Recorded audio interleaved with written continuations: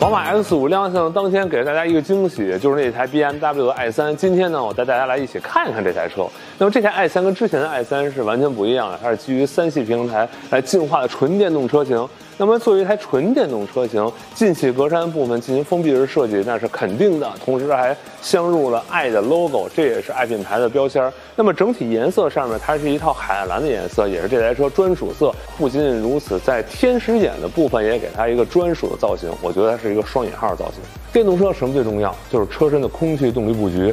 那么在前杠部分也进行了重新的设计，跟我们之前见过的所有三系的前杠是完全不一样的。另外，十九寸的低风阻的轮毂，再加上镂空的鲨鱼鳃，将整个车侧面的空气布局重新的设计。同时，在底边部分也进行了一个小小的弯曲，引入了后轮的这个低风阻轮毂。在车尾部分进行了爱家族品牌的空气动力的整体的设计。这套设计可以说给这台车一种全新的感觉。当然了，不仅仅如此，这台车的长、宽、高以及轴距相比三系来说都有所增大，可以说它是地球上现在最大的三。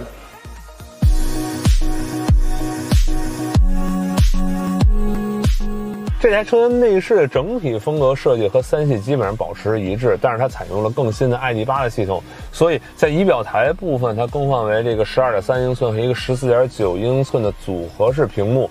当然了，这套 ID.8 系统，我相信大家在很多车型上已经看到过我们的介绍了，所以在功能性上面我们不做过多细节的介绍。另外一个车内最大的变化点是在这个功能岛的部分取消掉了之前传统的这种换挡挡杆，而是。改换了现在更为精巧的小型的换挡杆，这一点也是宝马未来内饰的一个家族化的设计。除此之外，包括座椅、方向盘以及车门上的操作按键，都是我们非常熟悉的一套三系的设计。另外啊，由于它的轴距有所增加，变成了二九六六，那么这台车的整体座椅的舒适度，包括后排的乘坐空间都有所变化。我们一起去后排看一下。由于它是一台纯电动车型，所以在底盘结构上进行了重新的设计。在这一点之上，后排座椅的臀点也进行了重新的设计，来保证你有一个非常好的乘坐的舒适度。